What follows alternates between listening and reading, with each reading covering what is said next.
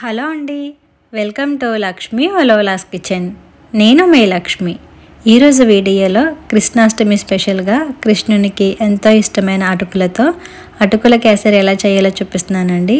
ఈ అటుకుల కేసరి చాలా ఈజీగా రెడీ అయిపోతుందండి. మనం అప్పటికప్పుడు చేయాలనుకున్నా కూడా చాలా త్వరగా అయిపోతుంది. అండ్ ఇదే కాకుండా మన ఛానల్లో ఇంకా కృష్ణాష్టమి రెసిపీస్ చాలా ఉన్నాయండి. అవన్నీ కూడా నేను ఎండ్ కార్డ్స్లో ఇస్తాను. ఒకసారి చెక్ చేయండి. ఇంకా ప్రసాదం చేయడం కోసం స్టవ్ పై ప్యాన్ పెట్టుకుని రెండు టేబుల్ స్పూన్ల వరకు నెయ్యి వేసుకుంటున్నానండి. నెయ్యి కొంచెం కరిగిన తర్వాత ఒక పావు కప్పు జీడిపప్పు వేసుకుని లో ఫ్లేమ్లో ఉంచి దోరగా వీటిని వేయించుకోవాలి.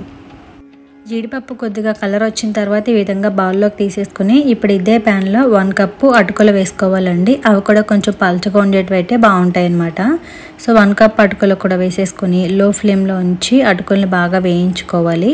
మనం వేసుకున్న నెయ్యి అంతా కూడా అటుకులకి బాగా పట్టాలండి. ఆ నెయ్యి బాగా పీల్చుకుని అటుకులు కొంచెం ఫ్లఫీగా వేగుతాయి అనమాట ఒక రెండు నుంచి మూడు నిమిషాల పాటు వేయించుకుంటే ఈ విధంగా మంచిగా కలర్ కూడా చేంజ్ అవుతుంది. సో ఇక్కడ చూపిస్తున్నాను చూస్తారా ఇలా వేగితే సరిపోతుంది అనమాట ఇలా అటుకులన్నీ కూడా బాగా వేగిన తర్వాత మనం ఏ కప్పుతో అయితే అటుకులు తీసుకున్నామో అదే కప్పుతో వాటర్ వేసుకోవాలి. అంటే ఒక కప్పు అటుకులకి రెండు కప్పులు వాటర్ వేసుకోవాలి. వాటర్ వేసుకున్న తర్వాత అటుకులు ముద్దగా ఉండకుండా ఒకసారి కలుపుకోవాలండి. తర్వాత మూత పెట్టేసుకుని మీడియం ఫ్లేమ్లో ఒక టూ మినిట్స్ పాటు ఉడికించుకోవాలి. అటుకులు చాలా త్వరగానే ఉడికిపోతాయి. టూ మినిట్స్ తర్వాత మన మూత తీసుకుని ఒకసారి అంతా కూడా బాగా కలుపుకోవాలి. ఇక్కడ అయితే అటుకులు బాగా ఉడికిపోయాయి కదా. అంటే ఒకసారి చెక్ చేసుకుని ఉడికాయా లేదా అనేది నాకైతే ఉడికిపోయాయి అనమాట ఒకవేళ ఉడకకపోతే మూత పెట్టి ఇంకొక నిమిషం పాటు ఉడికించుకోవచ్చు. ఇలా బాగా ఉడికిన తర్వాత హాఫ్ కప్పు షుగర్ వేసుకుంటున్నాను. అలాగే ఒక నాలుగు ఇలాచీ కూడా దంచుకొని వేసుకుని ఐదు పిస్తా పప్పులు కూడా కట్ చేసి వేసుకున్నానండి. ఇప్పుడు ఒక చిటికేడంత ఫుడ్ కలర్ వేసుకుంటున్నాను. మీకు ఇష్టం ఉంటే వేయచ్చు లేదంటే స్కిప్ చేసేయండి.